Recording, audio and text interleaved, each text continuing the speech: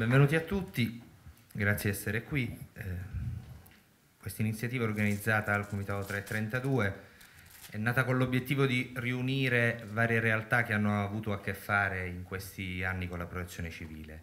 ovviamente a partire eh, dalla situazione aquilana, ma eh, guardando a un livello di carattere nazionale senz'altro. Eh, la protezione civile ha agito in quasi tutto il Paese, eh, nell'emergenza rifiuti a Napoli, nella gestione dei mondiali di nuoto di Roma, eh, e quindi abbiamo provato a invitare le realtà che hanno avuto a che fare con eh, queste emergenze o grandi eventi, eh, volontari, sindacati, esponenti politici, vogliamo provare ad aprire una discussione eh, in, in, forma anche reticolare, aperta, ehm, che riguarda la trasformazione della protezione civile. Partendo da un obiettivo mh, di brevissimo termine, cioè impedire eh, che la protezione civile si trasformi in una società per azioni con eh, l'approvazione, la conversione in legge del, del decreto già pubblicato in Gazzetta Ufficiale il 30 dicembre eh, che istituisce la protezione eh, civile SPA, che noi intendiamo come punto di arrivo di una trasformazione della protezione civile di tipo molto lungo nel tempo e che è iniziata senz'altro a partire dal 2001, eh, quando eh, col governo Berlusconi è arrivato Guido Bertolaso a dirigere eh, la protezione civile e si è giunta eh, alla ehm, diciamo, si, si, da quel momento si sono potute utilizzare le ordinanze di protezione civile con il loro straordinario potere di deroga non solo nel caso delle emergenze ma anche nel caso dei grandi eventi. Poteri che sono stati utilizzati in numerosissime occasioni, abbiamo calcolato che sono oltre 600 le ordinanze di protezione civile varate dal 2001 a oggi. Allora noi vogliamo impedire che passi questa protezione civile SPA, eh, ma la vogliamo impedire come punto di arrivo una trasformazione appunto di lungo corso della protezione civile. Vogliamo eh, ragionare su come si può riportare la protezione civile nella sua logica originaria, che noi intendiamo così, come strumento democratico di autoprotezione dei, eh, dei cittadini. Mentre oggi è tutt'altro, è un concentrato di potere assoluto, perché sciolto da ogni controllo di tipo legale e di tipo democratico, capace di imporre sul territorio eh, la propria forza anche con strumenti militari come è accaduto ad esempio a Napoli con la sottrazione di pezzi del territorio nazionale al controllo democratico trasformandoli in siti di interesse strategico,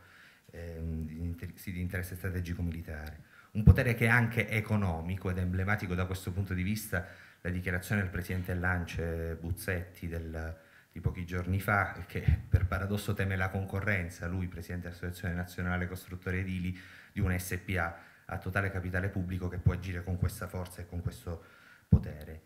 Ed è un potere di tipo anche propriamente politico, perché le emergenze sono state utilizzate in numerosissimi casi, molto spesso per concedere a sindaci e presidenti di regione il potere di derogare le norme ordinarie e di superare il controllo degli organismi elettivi, secondo una logica per cui il potere scende dall'alto verso il basso e non, prova, non trova più origine nel, nel voto e nell'espressione del volere, del volere popolare.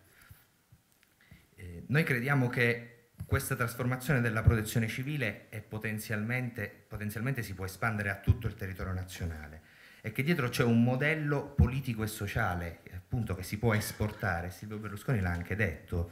che questo paese andrebbe governato con la protezione civile, con una logica che passa per efficientismo e in realtà altro non è che una logica eh, non democratica eh, e che oggi si sta provando a esportare anche a Haiti, eh, dove l'Italia eh, prova a entrare all'interno del gioco delle potenze internazionali sulla gestione degli aiuti e della, e della ricostruzione, sugli affari che possono essere legati alla ricostruzione. E oggi ci chiediamo, e domani cosa potrà fare se questo modello è esportabile alla protezione civile? Potrà ad esempio imporre la militarizzazione del territorio e gestire eh, i lavori per l'alta velocità in Val di Susa?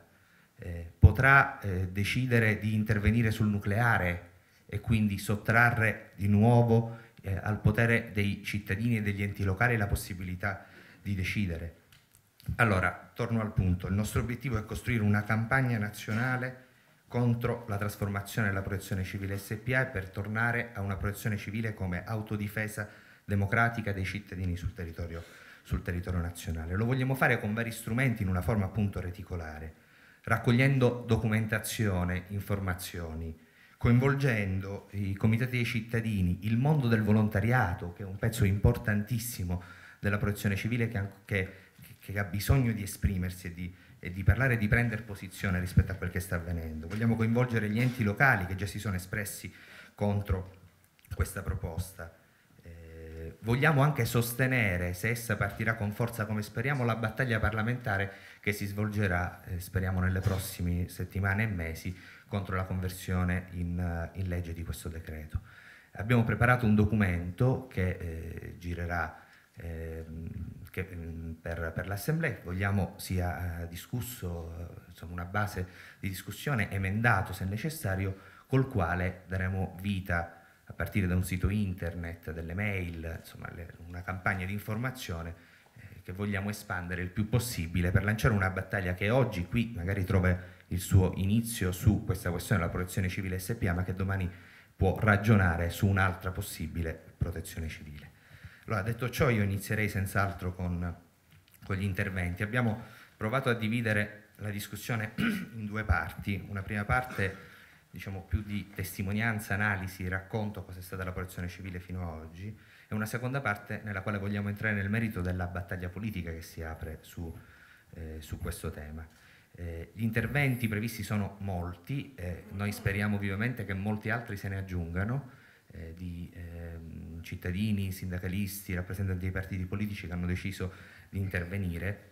È un'iniziativa che è nata in tempi brevissimi, quindi non, è, non siamo stati in grado di costruire sin dall'inizio la rete ampia che è necessario mettere insieme per, per condurre questa battaglia, quindi aspettiamo ehm, altri, altri, interventi. Quindi i tempi dovranno essere necessariamente stretti, abbiamo calcolato circa 7 minuti a intervento, ovviamente in maniera flessibile, ma essendo gli interventi previsti già 15 rischieremo di far, di far notte. Eh, quindi diamo inizio alla, alla discussione.